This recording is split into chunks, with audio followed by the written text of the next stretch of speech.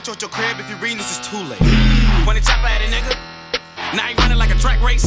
Catch a nigga while he waiting on his dinner. Cut his head off, leave his ass with a full plate.